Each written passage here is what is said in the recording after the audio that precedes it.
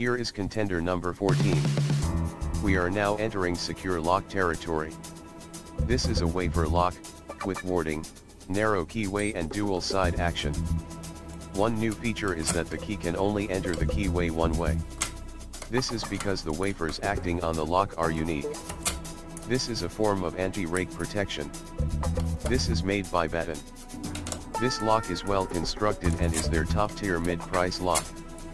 This lock is the largest length I could find. 32 millimeters. The criteria still stands. This lock must survive one minute of a low skill attack.